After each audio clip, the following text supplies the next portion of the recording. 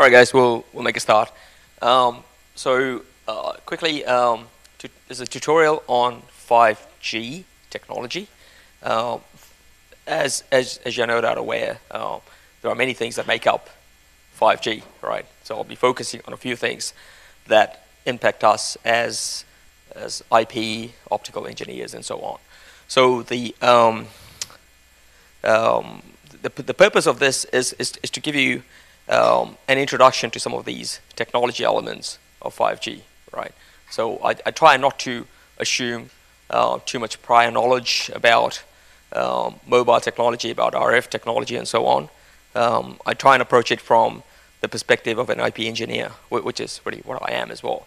Um, so, so I hope that kind of uh, fits in with your expectations. So um, about me, uh, my name is uh, Paresh, Paresh Khatri. I'm, I'm, I'm the, um, the, the chief architect for um, the, the IP and Optical Networks division for Nokia for Asia Pacific, um, based in Brisbane, Australia. Um, this is this is really the first time I'm, I'm, I'm conducting this session in this format. So I've, I've got a bunch of content. I may not actually finish all of it, right? So the plan is to keep going until time runs out, and then I stop. Because um, I think I think it's a better approach where I, I, I cover things a, a, smaller number of things well than try and rush through everything. The slides will be there, um, so reach out to me over the next day or two. More than happy to sit down and talk about some of these um, things. So uh, my clicker is not working. Just sorry, I'll just have to do this. So a whole bunch of uh, topics. Um, like like I said, it's a bit. Um, no, that's okay. Don't worry about it. It's it's a Mac anyway. So is that going to work?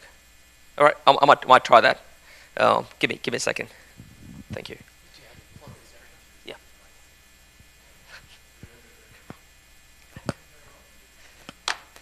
Exactly. This could be a very short tutorial. Um,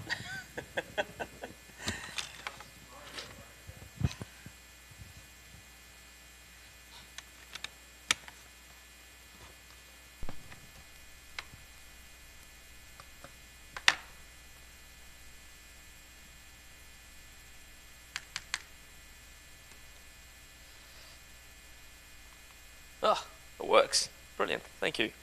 Um, all right. So, like I said, a, a somewhat ambitious list of uh, things that I wanted to cover um, today. So, I'll look at some of the use cases for 5G. You know, what is actually driving us to look at 5G as uh, you know a, a, technology evolution for mobile networks. I'll talk about um, evolution within the radio space, right? Which is which is quite key to 5G. I'll look at what we call functional splits within the radio access network. If this doesn't make any sense right now, that's okay. Um, that's the intention. We'll, we'll, try and sort of you know clarify some of that as I go along. I'll talk a little bit about the 5G next generation core, um, and you know if, if, if, time permits, I'll take you through a uh, a dimensioning exercise for building a 5G backhaul network, which, which is you know quite enlightening because it, it, it, it really brings out the uh, the need to relook at how we build networks and the amount of capacity that's required. Um, I must also warn you that I'm recovering from a sore throat, so at some point I may lose my voice, but hopefully it's not before the end of the tutorial. Um, okay, so motivations and use cases, right? Um, it's, it's, I think, instructive to look at the different generations of mobile technology and what we've actually tried to achieve with this, right, before we look at 5G. Because 5G is so, so different. And, and, and I find it useful to, to put it up uh, against the graph like this. So on the, on the x-axis, you've got the, the number of subscribers, right? And, and the subscribers, well, call it endpoints actually. That, that's probably a better term. So number of humans or machines or things, right, as we call them today. And on, on the y-axis, you've got the amount of traffic per subscriber per month, right? Um, now, if, if, if you look at 2G, right, 2G was all about uh, voice calls, right? It was about voice calls, it was about audio. We had a little bit of data that came in, uh, which, which kind of kicked it off with, with GPRS and Edge and so on. But it's still predominantly a, a, a voice environment. And, and so you see the, the graph was actually very flat, right?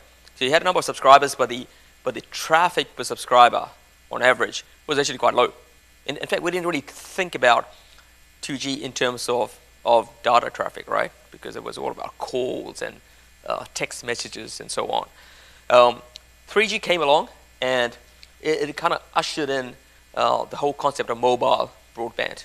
And even with 3G, right, day one capability in terms of the data capacity of 3G was, was actually quite limited. It was an improvement over, four, uh, over 2G, but it was still not great. And as, as time went along and we introduced HSUPA, HSDPA, and so on, it, it, it kind of ramped up the, the amount of capacity you could have for the purpose of, of data, right? 4G um, came next and is, well, I guess still here. Um, 4G really took it up a notch, right? Um, in, in terms of capacity, but also in terms of the architecture, because 3G had a, a sort of a circuit switch component to it, as well as a packet switch component to it. Um, with 4G, it all became IP, right? So, so that was one, one big change.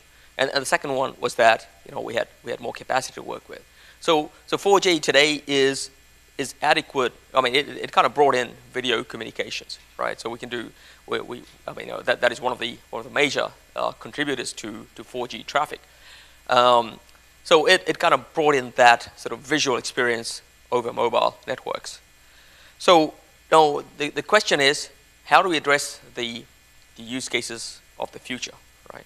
So 4G is where we are at today, but the, but the set of use cases that we have, or you know, it, it's a, um, I, I guess, a target is, is actually quite varied, right? And, and, and these use cases can, can, be, can be split into two things.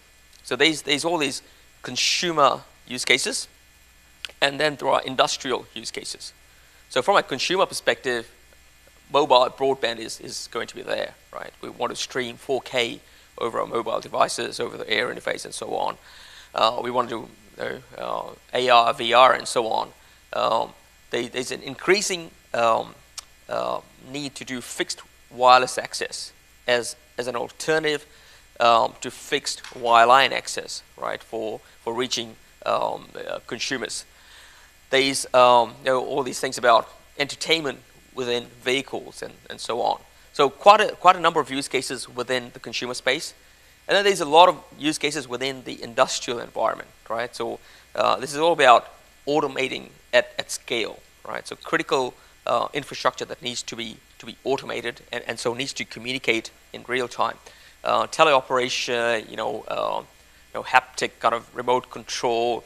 Um, you, you, see all of these different different sorts of um, sensor arrays and so on. So when, when we put when we look at all of these from the perspective of what it means for the transport network, the IP network, the optical network that that you know connects up all these things, then it, it kind of pays to to look at it from from the perspective of these things, right? Uh, from the perspective of throughput, from latency, and from reliability. Um, and, and, you see that, that I'm not going to go through all of this, right? But, but you see that all of them have very different needs. Some need very high um, downlink throughput. Some need, very, uh, some need very high uplink throughput. Some need extremely low latency. Uh, some of them need to be very highly reliable, right, in terms of six nines, five nines, six nines, right? So there is, is a huge set of use cases here. Now, some things I want to call out specifically. Um, so if you look at the, the download, um, pretty high in this space here, right? For mobile broadband and for fixed wireless access. You're talking up to up well, more than more than gigabits, gigabit, gigabit per second uh, per user. Um, so that's one. Uh, some of these require a, a very high uh, uplink capability as well. So you look at, uh, you know, I mean, it's really some of some of the similar ones here. Uh, applications where you're actually communicating with two-way video, for example, needs uh, very high uplink uh, capability as well. And, and latency, you know, you're talking about end-to-end application latency that is now down to milliseconds, right? So look at some of these, like event experiences, um, some of the critical uh, automation, one to five milliseconds of application layer latency. So between between two communicating uh, applications, this is this is serious, right? We, we cannot do this with, with LTE today because the air interface itself adds 10 to 20 milliseconds, if not more in some cases. So it, it, it means that the solution that we have um, today with LTE does not really address all of these use cases, right? So what I've done here is I've, I've kind of put them up against uh, the capabilities of LTE. So I've, taken the main use cases, said, can we do, it, do this with LTE? So some of them, yeah, we can, with some limitations, right? So we can do mobile broadband today, of course we do that. Limitations come down to downlink throughput. Um, for fixed wireless, it's about reliability, cost is a bit high. Uh, event experience, in terms of latency, you really can't achieve that um, interactive capability because of the high latencies that we have over mobile networks. And, and when it comes to some of these critical infrastructure uh, for industrial automation, you know, it's, there's a lot we cannot actually achieve with 4G simply because we either do not have the, um, the scale, the latency is too high, or the throughput is too low, right? So, you know, the, the spider graph kind of shows the aspirations for 5G. I'm saying aspirations because, you know, we're still working on this. We haven't achieved all of this, uh, but 5G is trying to uh, achieve that. So it's, it, it kind of plots it against different um, uh, elements, right? So the amount of data, the latency, reliability, and so on. So you see that LTE is, you know, it is it's meant to be a, a small um, subset of the capabilities of 5G. So ideally, 5G kind of gives you all of that. Um, no, I, I, normally treat any any uh, technology that that uh, promises everything with uh, a degree of skepticism, right? And so should you. So we'll not achieve all of this, but that's, like I said, an aspiration that we have uh, with, with 5G. So um, really, what we want with 5G is actually quite different to what we had with 4G, right? So look at these graphs, and like I said, all of them had one primary use case. Um, 2G was voice communication, 3G was voice. I mean, voice is always there, right? But it was about bringing some broadband in. Um, 4G took it up a notch, but 5G is actually, it's a combination. It's not just about broadband. It's about all these other applications as well. So, you know, right away, you know that the way we build 5G networks will be different to the way we build 4G networks because it's not a single use case that we're trying to achieve with 5G. So, um, what do we want? We want to support many more users, right? So the user density has really gone up, right? You hear all this talk about IoT and the billions of devices. They'll need to communicate somehow and, and the density uh, will, will go up at, at, least an order of magnitude, if, if, not higher. We need higher data rates. We need a more consistent user experience. Uh, density I've already spoken about. We need wider network coverage, right?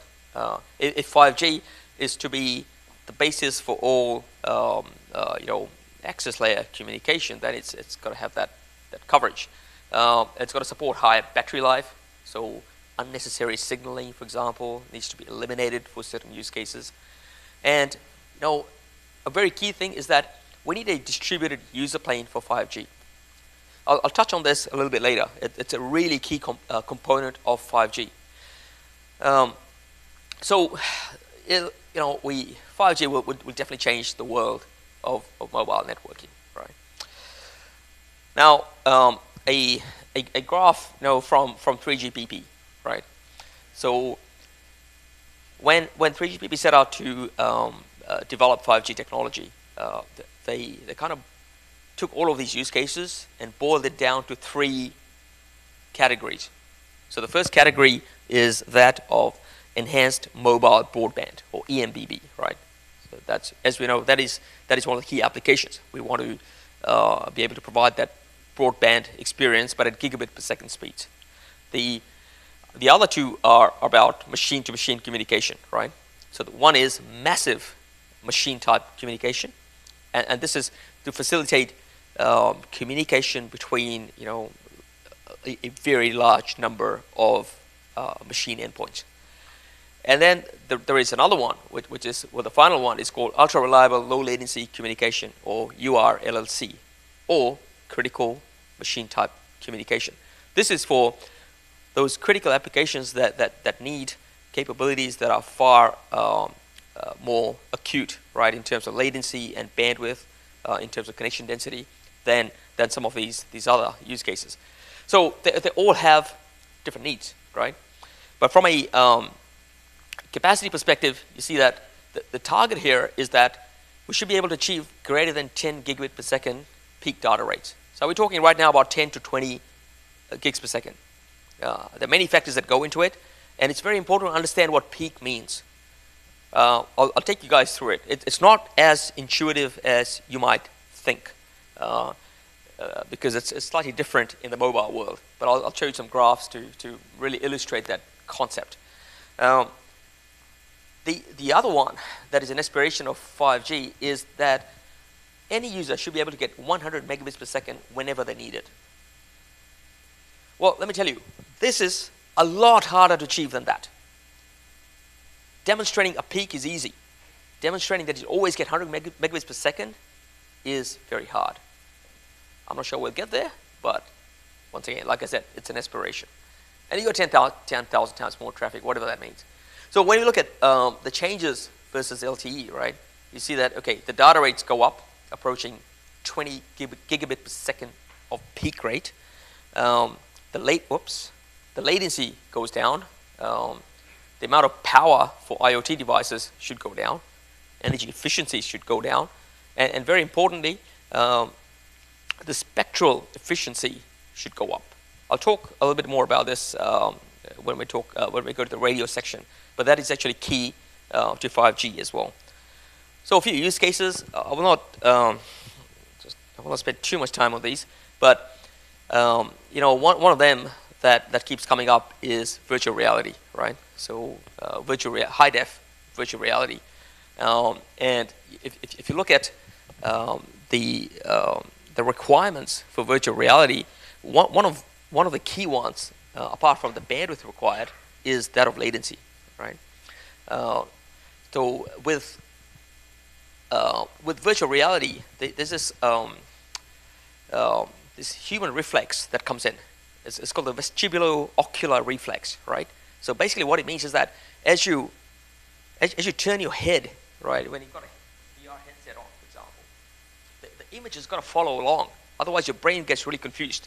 So if there's a if there's a latency lag of more than seven milliseconds, what happens is that you as a user of the headset get gets very uh, get very disoriented, and there are I mean, you know, it's been demonstrated uh, that, that people uh, end, end, up throwing up or getting very dizzy or something.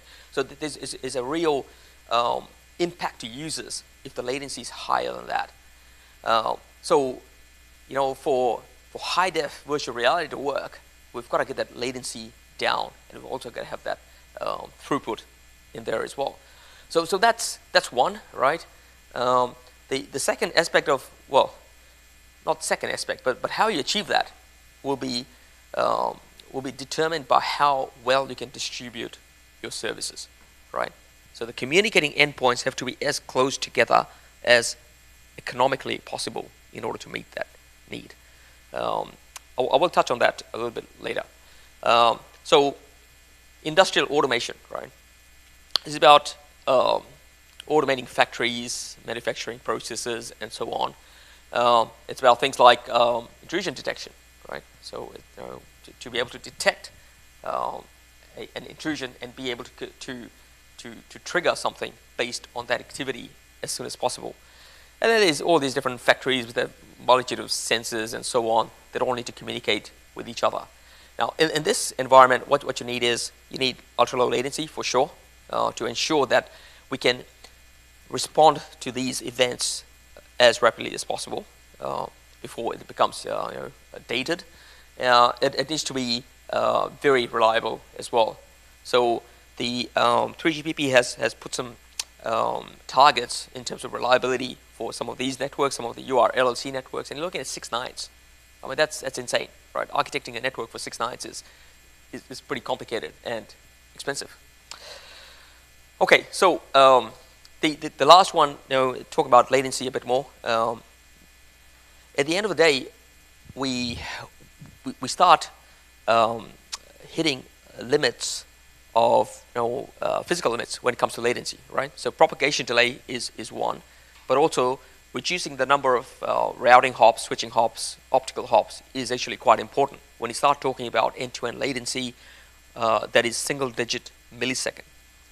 So one way to achieve this, I mean, one way to look at this is if, if you look at a typical um, mobile network, you've got the you've got the users here, you've got the base stations, you've got the aggregation network, you've got the core network, right?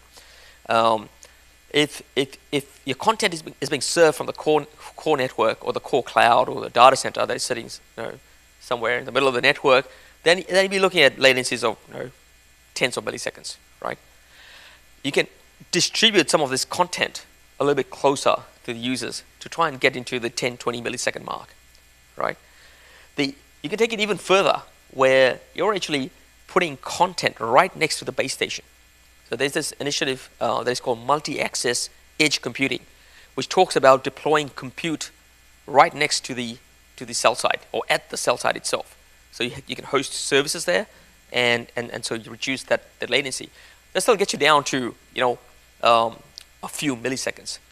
There's also a provision within the uh, within 3GPP mobile specifications for direct device-to-device communication, where you do not actually go through a cell, a base station itself, right? So it, it, it talks directly between these devices.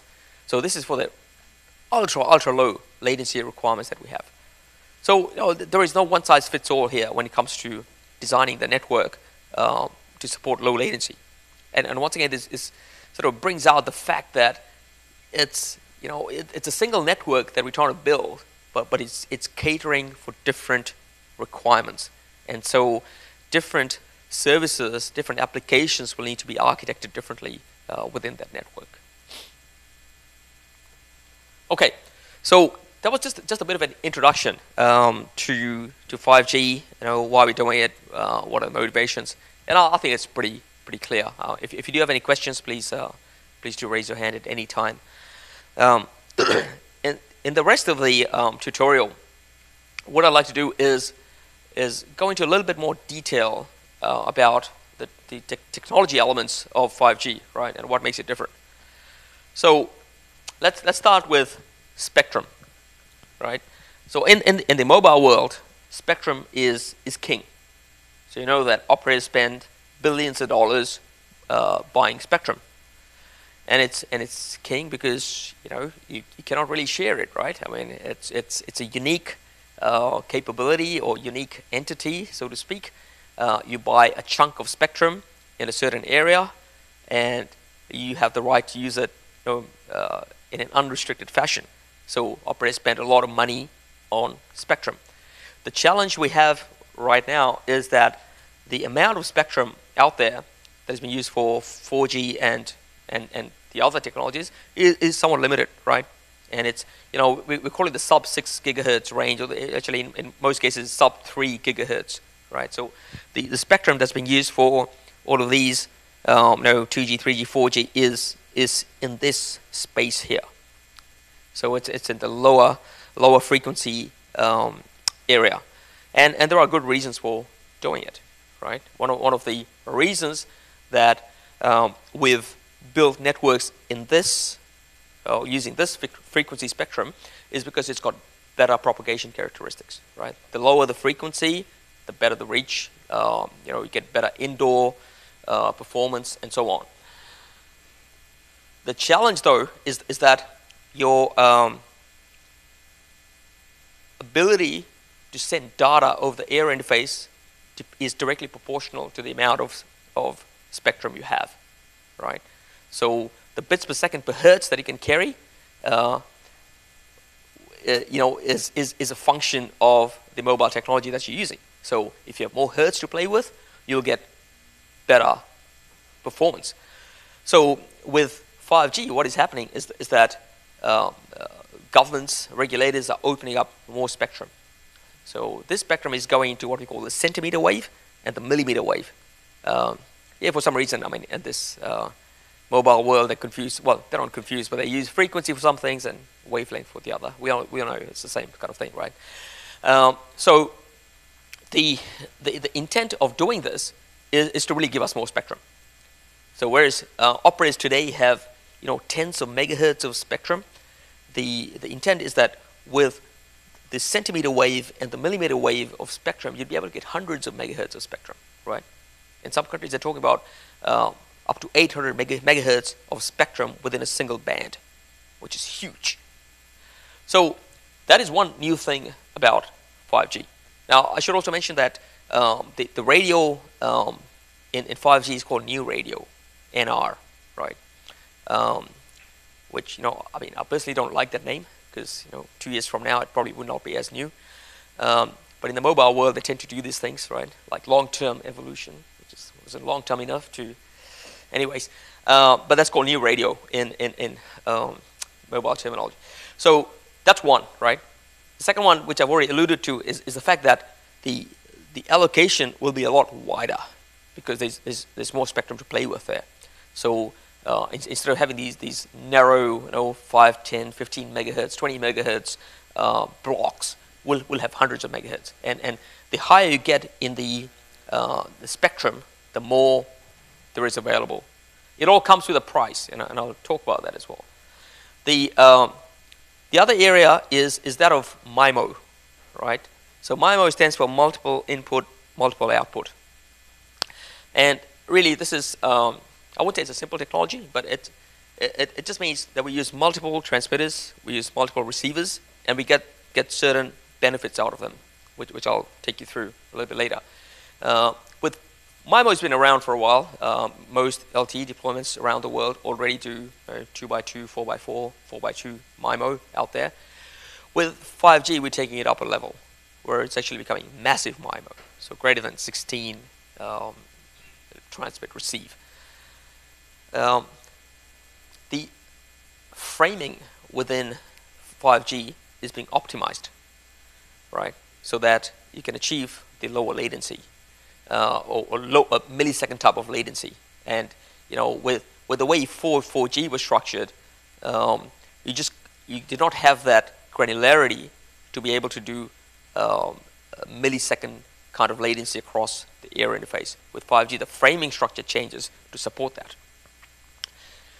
Um, okay, so two more things.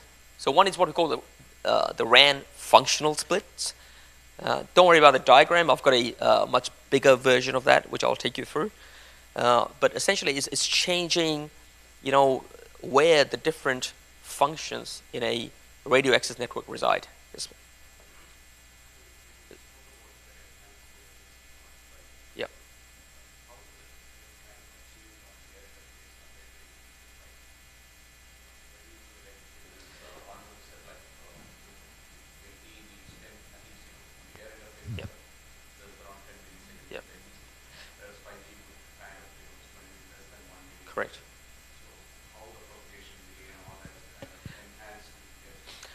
Yeah, look, I mean, I mean, one of the fundamental ways is that they've reduced the TTI, right, which is the, um, the the interval that is used for transmission. So in LTE, it was like 10 millisecond above. With 5G, it's down to one millisecond. So it's, it's not the it's not the propagation itself. It was the it was the framing that was kind of holding it back, and there's preemption and many other things happening with with 5G.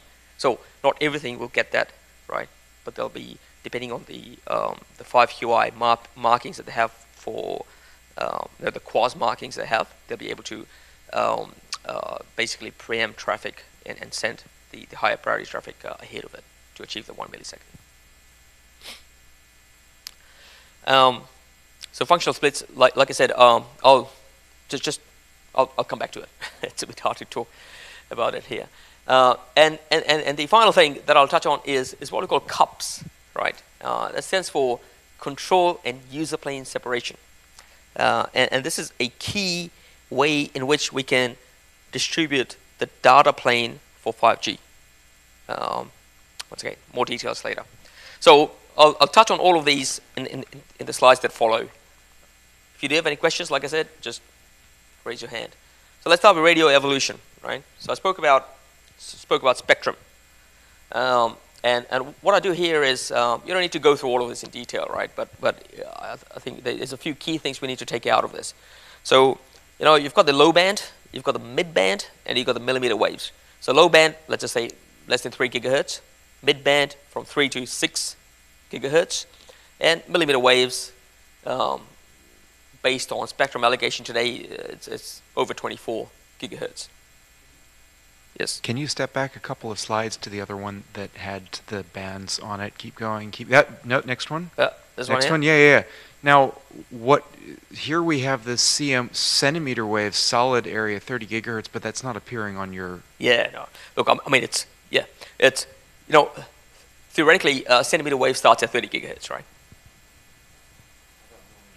Yeah, okay, okay. Well, I mean, oh, uh, th- uh, sorry, 30 to 3 gigahertz, or 3 to 30 gigahertz is centimeter wave. Okay. Yeah. So, so there are some people in the states, for example, doing um, 5G around 15 gigahertz, and uh, that would be your sort of solid area under Yeah, 30 right. gigahertz. But that's not appearing in your next slide. No. Three slides No. out. No. You just kind of had sub gig and where do we get uh, low Yeah, band, yeah. mid band, and millimeter wave. Yeah, so 15 gigahertz, uh, I'm not sure who's doing that. Uh, AT&T. it is 15 gigahertz for, for the fixed wireless access. Okay. Yeah, well, there you go. So, yeah, this is not comprehensive, let's put it that way. Um, T-Mobile is doing 26, right, for, um, for, for mobile um, um, purposes. Uh, but yeah, I mean, I, I, guess theoretically, when we say centimeter wave, to me, it should be um, anything more than one centimeter, less than a meter, right? So 3 gigahertz to 30 gigahertz and so on. Question there?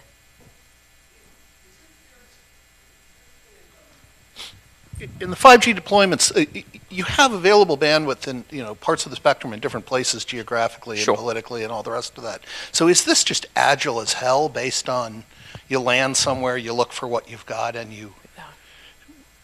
wow. Yeah, it's. I mean, and uh, you know, the number of bands is just just humongous, right? You know, and and in, in fact, you know, so there'll be there'll be bands that are being used for other purposes that are being you know repurposed for 5G. There is there are LTE bands, 3G bands that are being refarmed now for 5G as well.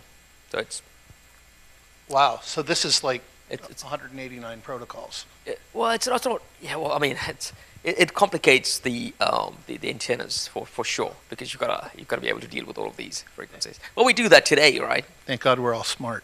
Yeah. Will it be the same air interface across all of the bands? No. Okay, different air Yeah. interfaces. different air interfaces. Yeah, because I mean obviously because of the different characteristics, um, which once again will complicate things, right? So, um, yeah, a lot of uh, lot of fun coming up. So, all right. So getting back to this, um, the key thing to to understand here is that uh, as you as you go up the frequency range, the, there's more capacity available, right? So you're able to get better data rates. The problem is that your, your coverage goes down, right? So, so when, when, we, when we talk about um, millimeter waves, uh, we, we've done tests that go up to a couple of kilometers, but those are tests. In reality, you'll be looking at cell sizes that are 100 meters, 200 meters. So uh, the reach is actually quite low. And, and uh, to, to get effective coverage, you will need a lot of cells, a lot of small cells, micro cells, pico and so on, in order to get you that, that coverage. So you know, it's it's it's a usual thing. Nothing comes for free here, right? So either you get um, coverage or you or you get the the data rate. Um, so low band, you know, as, as I said, mostly used for um, you know, LTE, 3G, and so on today. Um, all of those bands uh, are available for 5G as as well.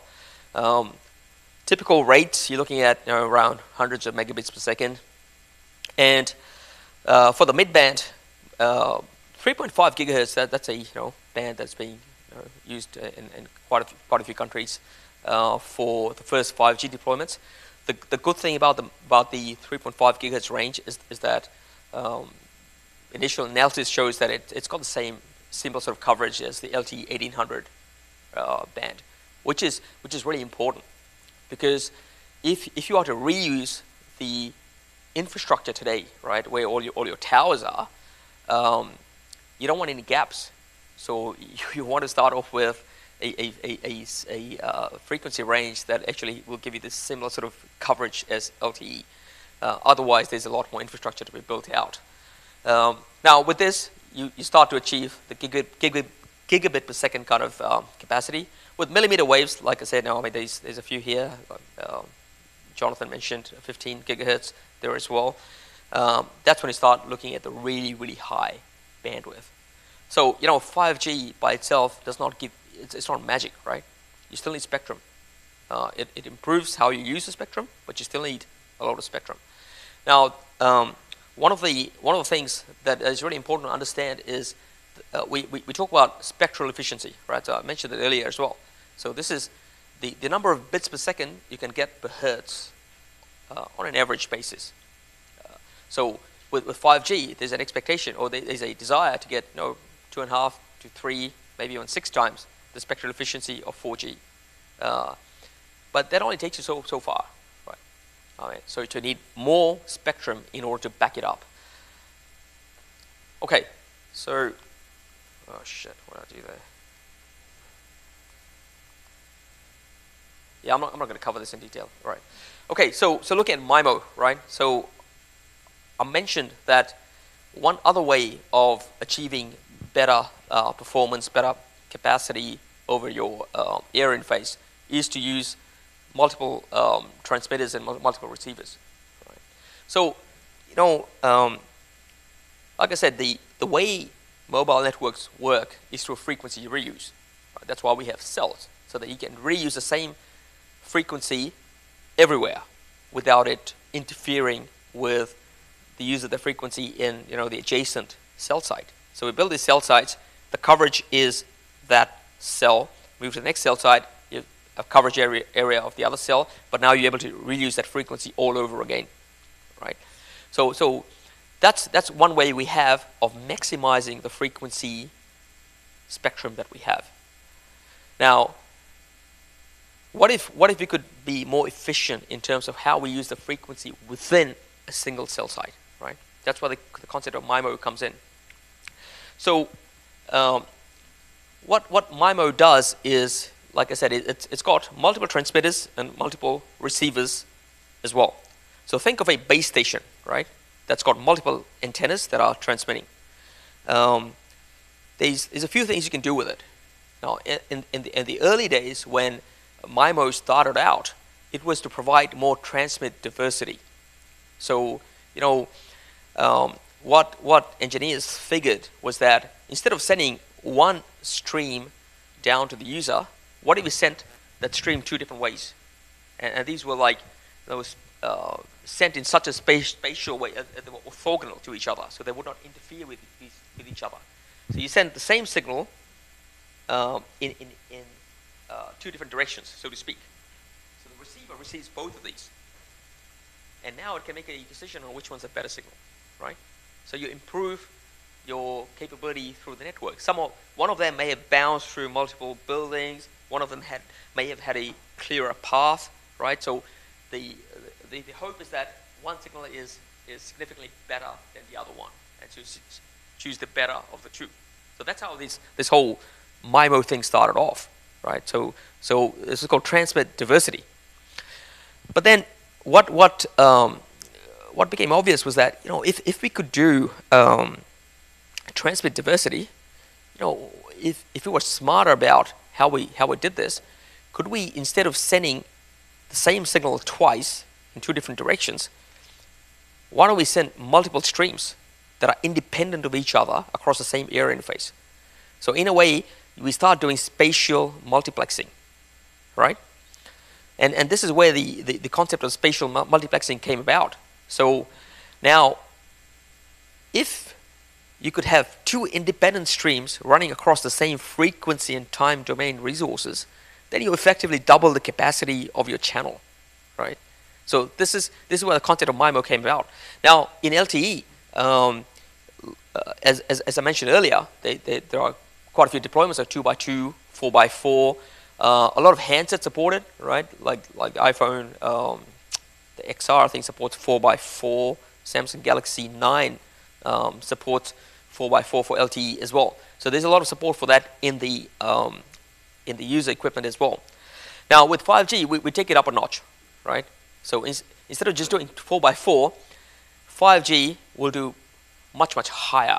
So the um, the configurations we're looking at now are, are things like 16 by 16 or 32 by 32 or 64 by 64 or 32 by, uh, or 64 by 32. So really taking it up a notch so that you know you could send up to say 16 or 32 parallel streams from the same base station, but they do not actually interfere with each other. And that way you dramatically increase the capacity of that channel, right? So this is yet another way that we that we that we're achieving higher capacity. Now we, we need to put this into perspective as well. So if, if you look at the lower bands, as we said, the, the main issue with the lower bands is that we don't have enough spectrum. So with the lower bands, uh, massive MIMO actually helps you to get even higher data rates or higher data rates, right, compared to what you would have done without it.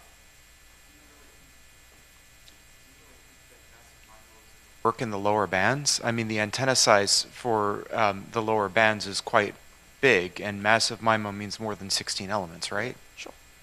I, I've never seen massive MIMO below a gigahertz. In uh, antennas where? On the base station? Yeah, Have you seen the latest antenna designs? They actually they're really sub gigahertz massive MIMO. Yeah. Okay. Yeah, absolutely. So we can, we can chat about that. but yeah, Okay. it's uh, so I mean maybe maybe not sub gigahertz so to speak, uh, but but definitely in the in the 1.8, 2.1, 3.5 range. Yeah. Yeah, yeah, yeah, yeah. Sub. Yeah, okay. I'll take it back. Maybe not 600 megahertz or 700 megahertz. Yeah, yeah. Um, so it's you know you, you, still need you still need devices that support it as well at the other end to get the, get the most out of it. Um, so for lower bands, you know, you get you get higher data rates. For higher bands, um, it it lets you, get better better propagation distances, right? So it helps to increase the reach of the of the signal. Uh, so it helps in both ways. Okay, so I've done some analysis here based on some, some work that we, we, we've, we've done with our initial 5G testing, right? So the, the configuration I've taken here is, um, let's just say for frequency range uh, for, for the 3.5 gigahertz band, and you've got 100 megahertz to play with. Um, and the assumptions that I've made here, and this is once again based on empirical sort of data that we have, is, is that in a 2 by 2 configuration, you're getting 3.9, 3.69 bits per second per hertz. Um, for the 4 by 4 MIMO configuration, you're getting about 6 bits per second per hertz. So this is roughly double what you get with, with LTE today. So it's still a, a sub, well, it, it's a, it, it's a, it's a conservative kind of number, right? Now, if, if you base it on that and use a 64T, 64R configuration uh, at the base station. So this is real. So by the way, this is um, so we actually got products that do 64T, 64R in the 3.5 gigahertz with 16, um, uh, 16 downlink layers, right? So in, in this kind of a configuration, you end up with with bandwidth that looks like this. So the average sector throughput is 369 megabits per second, assuming your you know and your UEs are two by two, and um, for 4 by 4 it's 600 megabits per second. The peak, on the other hand, is a lot higher, right? So for 4 by 4 you're talking about 9.75 gigs. So it immediately shows you a couple of things, right? Uh, one is that um, the ratio between the, the peak and the average is a lot higher today with 5G, uh, right? And the second one is that you know, the, the improvement in the average sector throughput is there, but it's not, it's not as massive, right? So the, the use cases that we build, I mean, the, the applications that we have need to be cognizant of the fact that, that there is that disparity between peak rates and, and the average rate that you can get um, using this. Okay, so that, that's a little bit about, about Spectrum and uh, MIMO and so on, right? So the next bit, RAN functional splits. Um, before I do this, uh, I, I, just kind of drew a high-level view of a mobile network for people who are not really familiar with, with how these things go together. So you have your base stations, right? Uh, you have your towers, you've got stuff there, antennas, you've got some active equipment. You've got what we call the radio access network, right? That forms, uh, that includes the base stations plus, you know, the air interface. You've got user devices that connect to that. Now, you've got a mobile core that's sitting out there somewhere in, in the uh, operator's network. And then between this, you provide a backhaul network to interconnect up the access with the mobile core. Now, most of the tier one, or well, I guess most mobile operators today, um, have built uh, the mobile backhaul network using IP MPLS technology, right? So um, early on with 3G, uh, it, it, was there was a mix of Ethernet uh, and IP VPNs, With LTE, it's predominantly IPVPN today. So there's IP routing within the mobile backhaul network, running over an MPLS network. Okay, so that's just to give you some perspective of, of how these things look, right? Now, um, over the past few years, there's been a um, uh, degree of work on what we call centralized RAN. And the way um, to describe, I'll, I'll take you through how what that actually means. Now, when when we first started building mobile networks, this is what a cell site looked like. Right? You had a tower, you had an antenna right at the top of the tower. You had this active equipment sitting at the base of the um, base of the tower. Um, and we call it the BBU or the baseband unit. So this is where all the electronics is. That's where it does you know, all its processing. And the way we connected these things up was we ran a you know some coax between the antenna and this device that was sitting at the bottom of it. Now there was a few few challenges with with doing things this way. Um, coax, as, as you know, is, is a lossy kind of uh, medium, and, and so there was a lot of power loss and so on that happened uh, between the antenna and, and the radio. So you needed to you know amplify and so on, costly exercise. So what um, operators did was they, they kind of you know tried to optimize this architecture, and what they did was they moved some of the uh, RF processing to be co-located with the antenna itself, and this was housed in a unit called uh, a remote radio head, right, an RRH, and they left the rest of the baseband processing on the uh, on, on, the device at the bottom of the tower. Now, they had to interconnect it somehow, right? And one of the one of the um, objectives was to get rid of coax. So they built a new interface between them, and um, this interface was used fiber, and this interface uh, was now used to transport radio signals from the antenna to the BBU over fiber, right? Um, so this was this was one improvement, and so because they had distributed some of this functionality, we ended up calling this architecture distributed RAN. So now the RRH and BBU are separated. So that's why it's called distributed RAN. It's not that distributed, but it's distributed at the base, base station itself. Now, what operators um, started sort of thinking about was, you know, if, if we are doing this, why don't we um, centralize some of this BBU functionality. So instead of having a BBU sitting at every cell site, why don't we put it in a central location and, and call it you know, a, a, a BBU hotel or something, right? That's what they call it.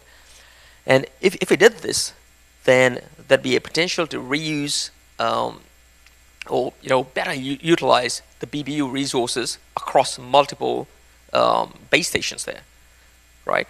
The the other factor that was important is because if, if they did that, they would need less space at the tower itself. Right? We, we know site acquisition, site costs, power, cooling are very expensive.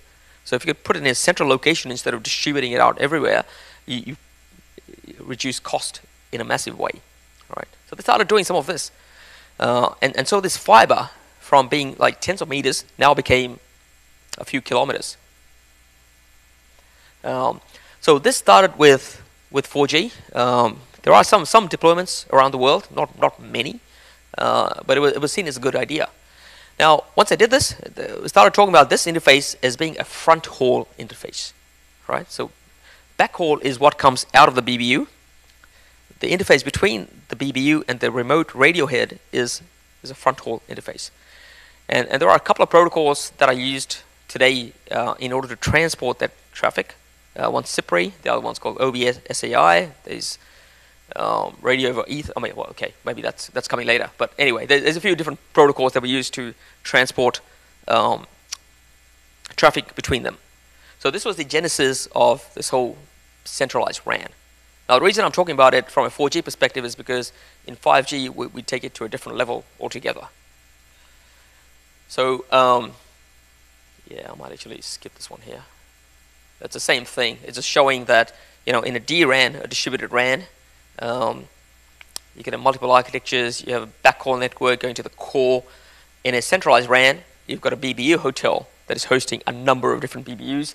The only thing at the cell side is the remote radio head. So it's, it's, it's a lot simpler. Okay, so like I said, the uh, probably the predominant protocol that is used, used by operators is called CPRI, and, and it's, it's called uh, Common Public, or it stands for Common Public Radio Interface. Uh, it's, it's not the best protocol in the world, right? It's, what it does, it's, it simply takes uh, uh, radio signals from the antenna um, and samples them, quantizes them, puts it into, puts it onto the wire. So it's like a circuit emulation service, right? It's sending stuff even if there's, there's no traffic. It's not a packet protocol. Um, it's, it's very bandwidth heavy.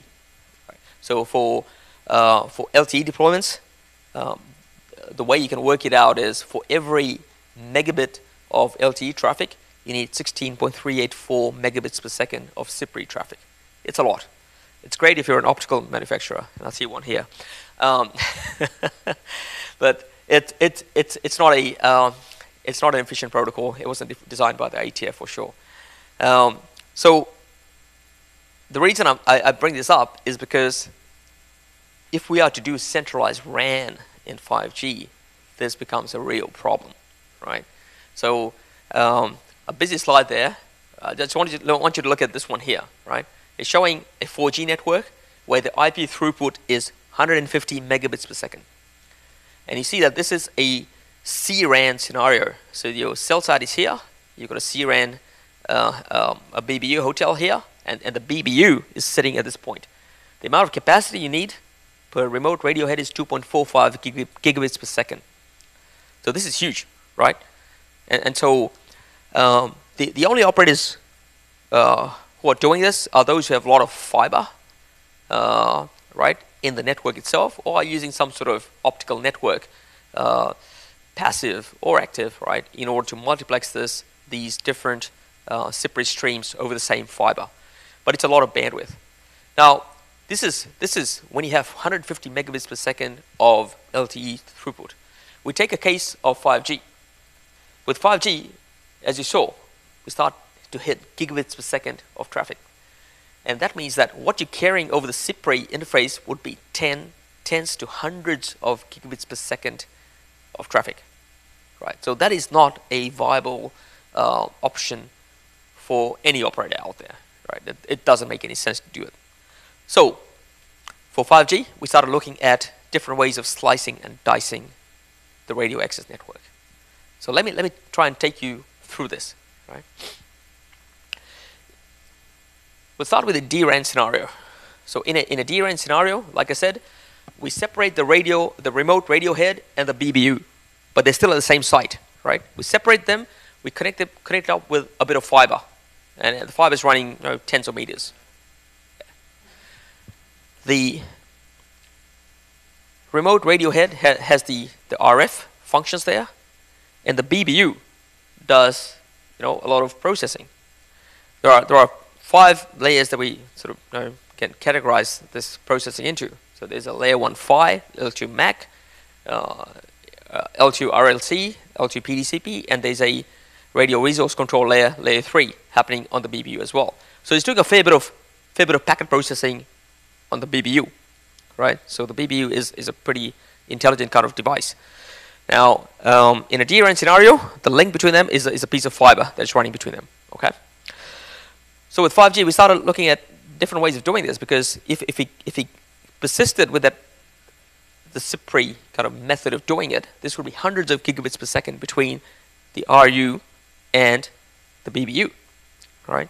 So what's emerged is the concept of having these functional blocks of processing within the radio access network. So I'll try, I'll try and sort of simplify some of this here. So we end up with we end up with three different elements. And these are functional elements, right? Don't think of it as a physical function, although it could you know, uh, be the same as, the, as a physical function. But there are three functional components. So I'll start from the bottom. So the first one is what we call the radio unit, right? Uh, the RU. And the distinction between DRAN and this kind of a, a cloud DRAN scenario, or, a, or you know, a um, well, this scenario here is, is that what we do now is we take on some of this layer 1 PHY functionality that was previously on the BBU and move it to the remote radio head or the radio unit. Right? Why do we do this? We do this so that we can make this communication a lot, lot more efficient. So that instead of dealing with just, just samples from the, the radio signals that are coming out, we can actually packetize some of this. So by moving the, the functionality in there, we can now create a uh, output of that, that that can be packetized. It's a lot more efficient. It's a lot more compressed than CPRI. All right. Now the next thing we do here is we take these two layers, the RLC layer, the MAC layer, and whatever's remaining in the PHY layer, the higher part of the PHY layer, and, and we combine it into an element or a function that is called the DU, or the distributed unit. Now we, we draw the line at the RLC layer is because these functions are considered real-time functions. And, and what we really mean by real-time is, is that um, it, it, it's very latency sensitive. So it needs a low latency uh, between, a very low latency between the RU and the DU element that is running the RLC function, right? So that is the delineation. Uh, and that's important because it dictates where you actually put this function. Now, what is whatever is remaining is called the non-real-time portion. So it's the PDCP layer and the RRC layer. We uh, come up with a term called the CU, or the central unit, that does that. Okay? So essentially what we've done is we've disaggregated this whole thing, right? And as you know, when you, when you disaggregate, you've got to create interfaces between the disaggregated elements so that they can communicate. So this interface here, which you can't see now, is um, well, even I can't read that, but that's that's packet-based front haul now, right? So that dotted blue line means that that interface is actually a packetized version of front haul.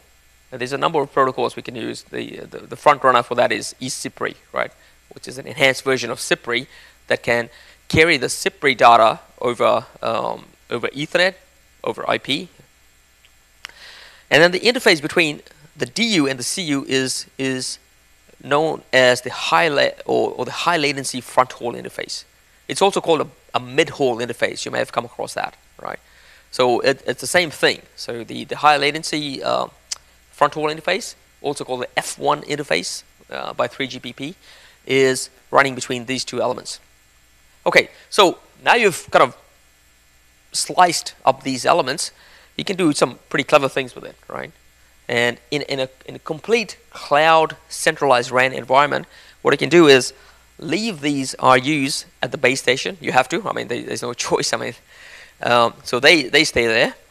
The DU moves out. It gets centralized a bit. Uh, but it, you cannot move it too far out because there is a, um, a limit in terms of how much latency uh, there can be between the DU and the RU. So you constrain to something like 15 to 20 kilometers from the RU site. Um, now the, the CU site can be further out there. It can be virtualized. It can be within the cloud itself because it's not performing any real-time functions that need uh, purpose-built hardware. And so that they're set you know, further into the network itself. So you see that the whole nature of how we build a radio access network has, has changed here. Uh, and operators uh, will deploy this in different ways, right? A lot of the a lot of the deployments happening um, today, or at least the early deployments, uh, are still DRAN. And, and, and, the reason is that it's, it's a lot simpler to get it out there. Everyone's in a race to be the first to launch 5G services, so they, they're all doing that. But there are operators like, like AT&T who are, um, uh, they, they're actually uh, going full, full out with the whole virtualization concept, right? So uh, there's a concept of virtual RAN 1.0, which which virtualize this element. And AT&T uh, uh, going even further with that, right? And, and uh, talking about virtualizing some of some of this as well. Um, so it's it's a completely different architecture for 5G.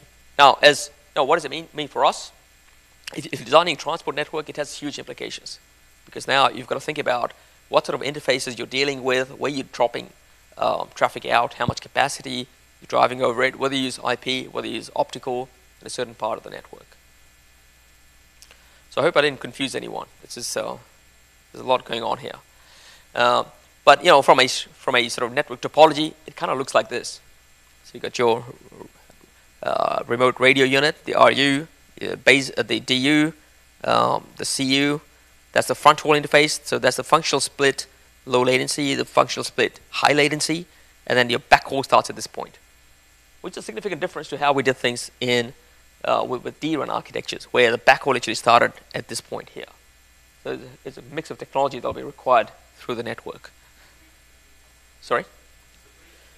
CPRI, uh, more likely eCPRI. No, not on 5G. No. Yeah, it'll be it'll be uh, well, you you could you could right for the for the low bands, if you wanted to. I mean, it, there's nothing stopping you from doing that, right? In fact, a lot of the uh, early equipment out there doesn't really support eCPRI either, so you might not have a choice uh, in terms of deploying it. There's nothing stopping you, uh, depending on how much capacity you're carrying, but you clearly don't want to be using it for hundreds of gigabits of, of traffic. Okay, so um, just to give you an example, right? Um, that's that's the amount of capacity required if you use uh, CPRI, and, and and how much you can bring it down if you use the different functional splits. So it's it's actually quite significant. Okay, um, I better speed up here. Um, so so the next generation core. So um, the the core is that part of the network that was sitting right to the to, to yes.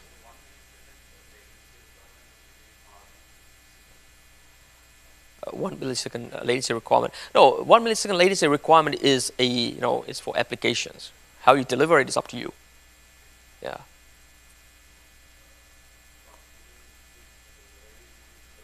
And end, end to end. So you know if, if your CU is too deep, then you won't be able to deliver that, right? Yeah. So so in that case, you'll have to distribute that function out closer to the users. Yeah. Um, okay. So you know the radio access is one part of it. The other part is the core. And, and I'll go through this really, really quickly uh, because I'm running out of time here. Uh, so the core was the thing on the, on the right-hand side of that, that mobile network, right? Now, now with 4G, we have a core, and, and it's got various elements there.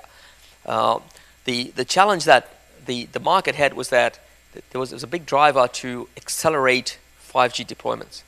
And if you waited for all the standards to come out for the 5G next-gen core to be ready, then it would have taken us another two years. So th- today there are a few different options on, on how we interwork 5G with uh, with LTE, and and so the first the first option is is, is that is, is called standalone. So you'll see that right, SA, and a standalone means that you've got 5G radio connecting to 5G core, right? Simple as that. And you know that's it's actually a Korean operator is going to be doing that very soon, next next next month.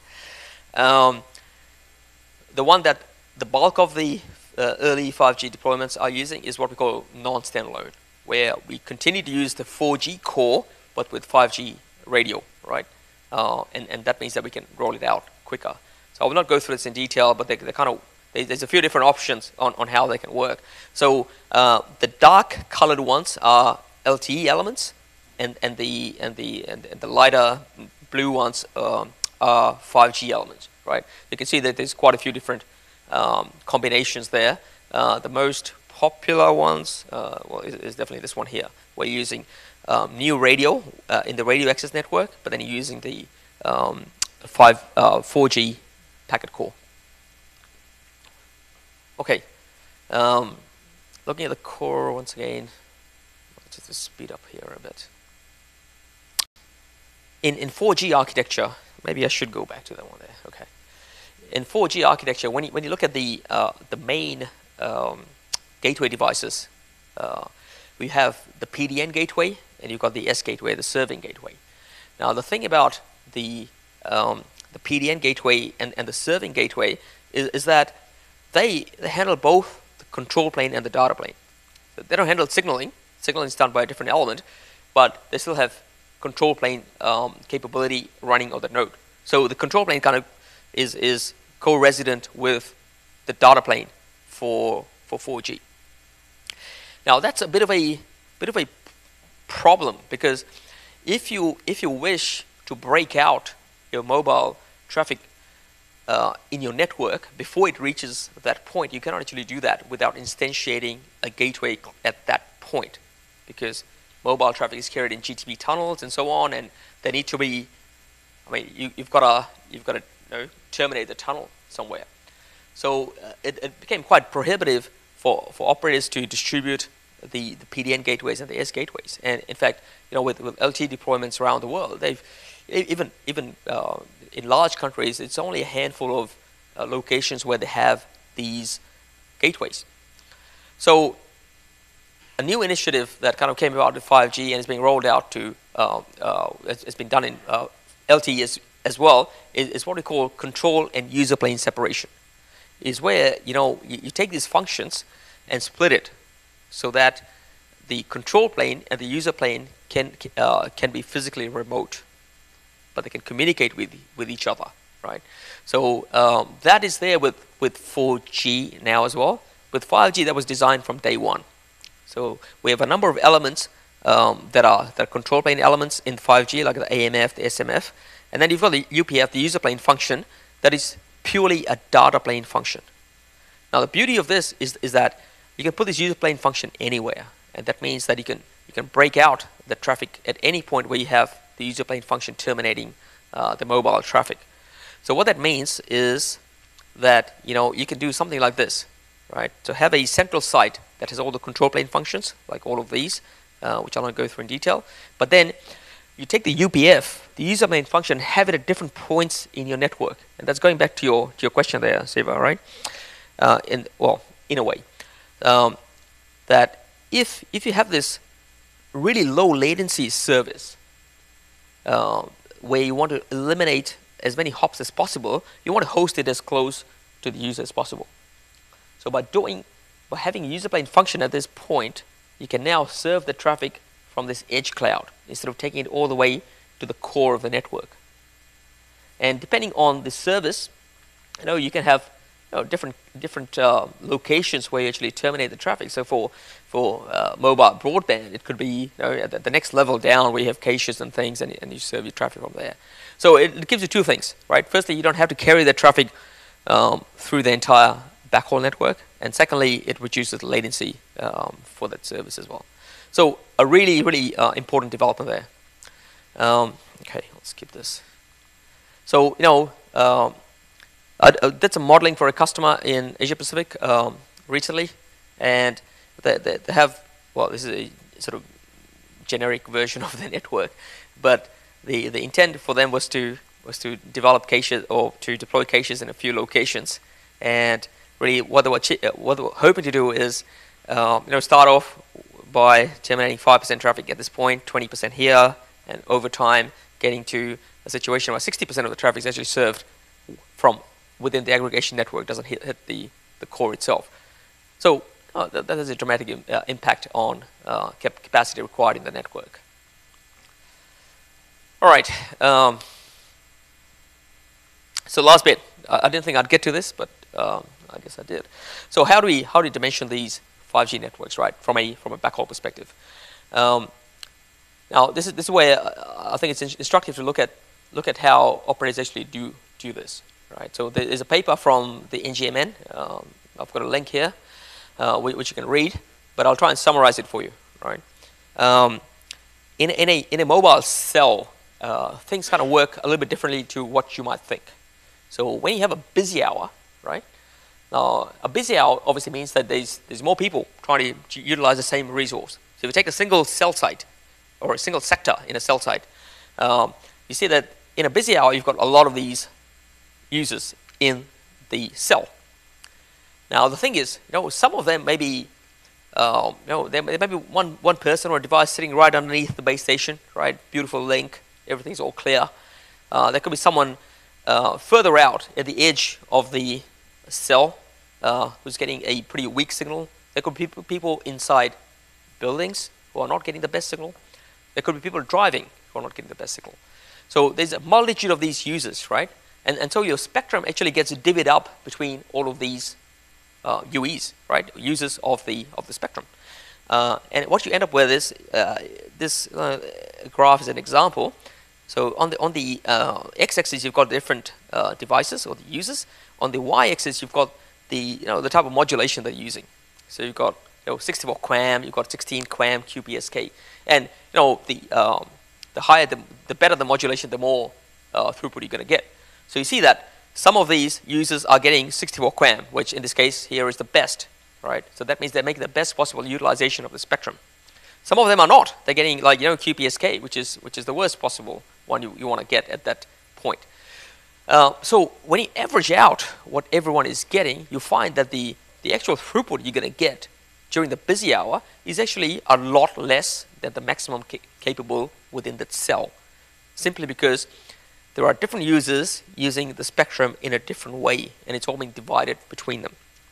Okay, so you end up with a cell average that is actually substantially lower than you would get otherwise. Now, that's busy hour. Now, during a quiet time is when you get peaks, right? So, so assume that it's the middle of the night and you're, you know, you've taken your iPad and you're sitting right underneath the base station. You get your best link. So this is one, one in this example, one user, and he has a good link, he's getting 64 QAM, he's using the entire spectrum. And that's when he, you get peak rates, right? So the, the, the thing to, I guess, really get out of this is that the peak rate in a cell is not during busy hour. It's quite different to how we build IP networks, where you know you get the peak rates during your busy hours. Uh, but here in a mobile network, the peak rates is more likely to happen during a quiet hour, a quiet time, where there's fewer users in the network itself. Uh, what you get uh, here is is the more likely average, and that's what I was getting at earlier, right? When I showed the peak and the average, where the peak for 5G was gigabits per second, but the average was still a few hundred megabits per second, because that's what you're going to get. So it, it, it, it, sort of bears to, to keep that in mind, right? So when we, when we provision uh, capacity for a single cell, then we've got to think about not just the average bandwidth, but the peak as well. Because the average may be much, much lower, but you've still got to give the, the user the ability to peak up to that rate. And, and, and, the, and the transport network, the backhaul network, should not be a bottleneck that prevents that from happening, right? So essentially, what this is saying is that when, you, when you're considering n number of cells, then what you've got to provision is the max of either the peak, or the max of the peak, or the uh, number of cells times the busy hour average. Okay, so what that, I'll, I'll give you an example. I'll jump. So let's go through an example. So, whoops. A simplistic example, you've got uh, a, an aggregation network here. You've got uh, a pair of core routers per city. It's a national core. Uh, four aggregation pairs per core, four pre-aggregation pairs per aggregation pair, and four cell-site router rings. Uh, oh, sorry, eight cell-site router rings per pre-aggregation pair, and there are four cell-site routers in each cell-site router ring. Right? It's a nice uh, even network, uh, which you'll probably never see in practice. Um, so what we want to do here is try and see how we can dimension this network, right? And this is an actual exercise that I did for a uh, for an operator here. So let's just look at this, right? I'm, I'm using the same case that we used earlier, right? So the uh, 3.5 gigahertz uh, within the 5G um, spectrum, 100 megahertz of that 64T, 64R. There's a bit of LTE, there's a bit of 3G, and all sites are trisected, right? So in this configuration, uh, if you recall, what we worked out is that for 5G, the downlink, um, the average spectral um, efficiency was this, right? 3.69, there was 6, there was roughly half of that. And so what we end up with is for 3G, the peak throughput was worked out to be about 21 megs, but the average is only 5. For 4G, with 256 QAM, it was 780, and the average throughput was 120 megabits per second. For 5G, it was 9.75 gigs, but the average is 600. So this kind of once again brings out the difference between peak and average, right, for a mobile network. So that's why you know when, when people say that um, you know 5G will replace all you know wired connections and uh, it's equivalent to fiber, not quite, not quite. Slightly different here, right? We have to understand how this actually works. So when we apply that uh, equation to it, we see that. Uh, sorry about that. We see that um, the provision capacity on a, a cell site router will now depend on you know how many how many um, cell site routers are in the ring, what is your peak traffic, what is your average traffic. So if, basically, we have to apply this equation. I'm not going to go through this in detail, but essentially, what it's saying is it's the higher of the peak or the sum of the averages. Okay. So in this case here, what it works out is that the the cell site router um, has to cater for the peak of a single 5G cell, which is 9.75 gigabits per second. Because even when you sum up the um, the average or the, or or the or the or the busy hour mean, it doesn't add up to that amount.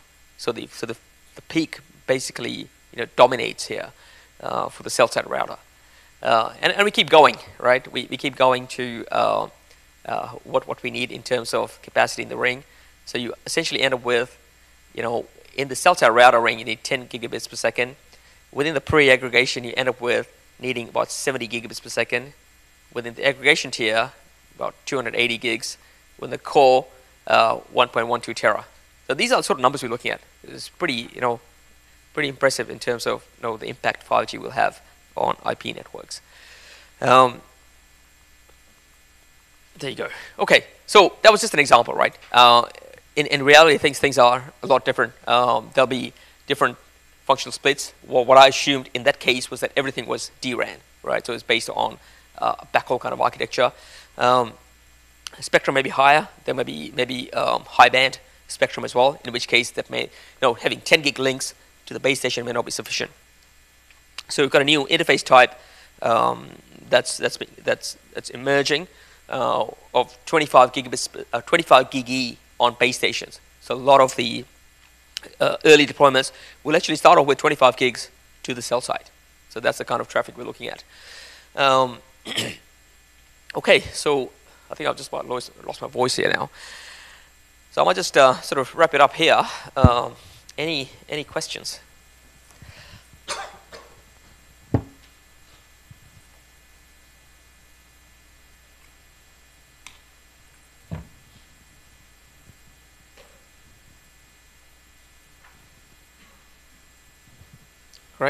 think I've lost everyone.